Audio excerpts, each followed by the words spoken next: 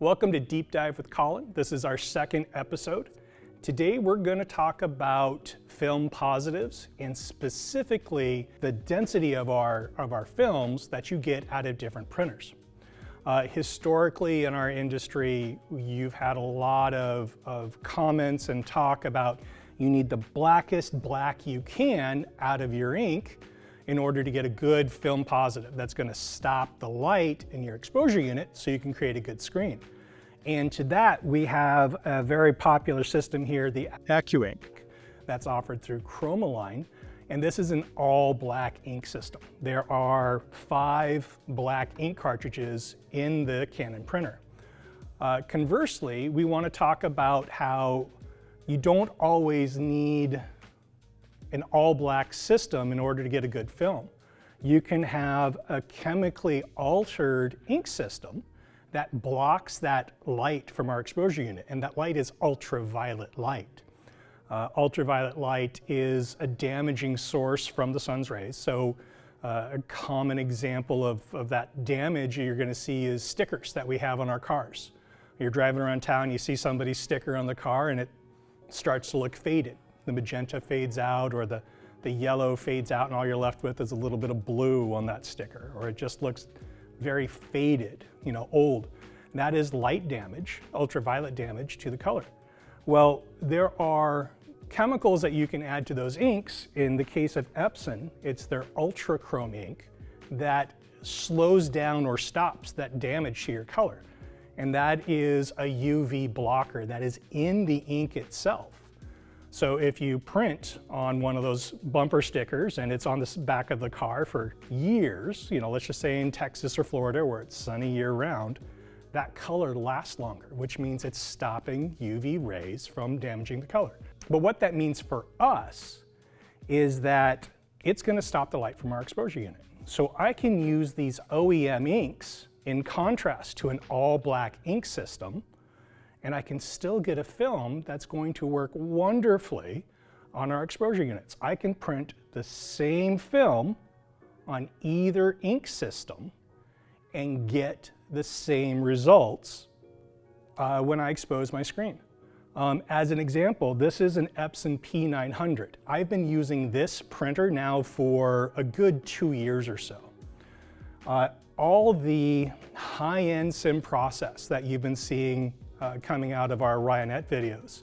Um, the videos where you saw me uh, printing SimProcess and index on screen. Uh, we were talking about grayscale and all of those designs. All the prints that we did in our advanced Photoshops, uh, advanced Photoshop class. Uh, they were all done using this Epson uh, and OEM inks. And I was able to keep down to that 3, 2, 1% dot that you typically see across all inkjet printers, regardless of their ink system being used. So as you can see in that shot, the Epson is clearly lighter than what the Canon was giving you. But as you can see in all this imagery of these high detail prints in which that dot size is itty bitty bitty, it's a 55 line halftone, you are going to get the same results on screen independent of the ink system or the printer type you're using.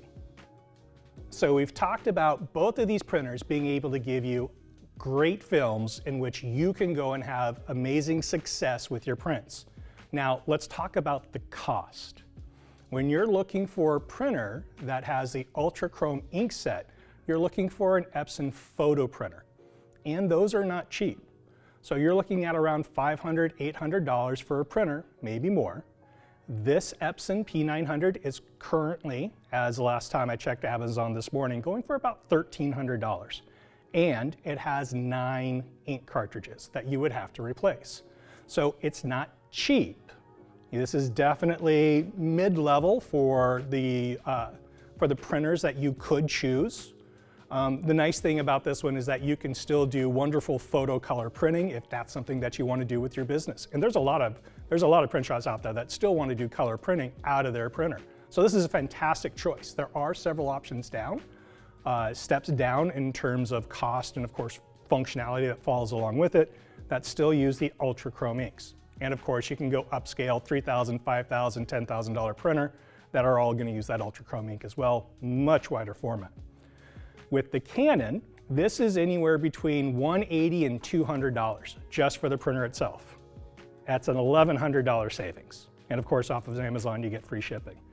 The ink itself is less than a couple hundred bucks after it ships to you. When you're talking about a budget option, the Canon is a clear winner. The, the printer itself, sub $200.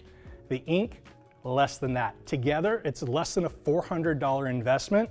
Again, that's over $900 savings off of this one and the individual ink cartridges that you're gonna need to replace. So, when you're talking about cost per print, the amortization over time, this is a really easy choice to get into using an all black system. If you have greater needs, look at the Epson, look at their photo printers. But you have choices. You have your budget friendly choice and you have your multi-functionality higher cost choice. I've used this one for numerous jobs and had great success. Course, I've used this one for numerous jobs and had fantastic success. They're both gonna work for you. Your choice is yours. So thanks for watching. We were talking about the choices that you, the screen printer, have for printers and the best films that you can get out of those printers based on the ink type you're using. If you guys have any more questions about inkjet films and the inks themselves, drop a comment below. If you would love to see other topics that I will touch on and deep dive on, leave another comment below. Make two comments.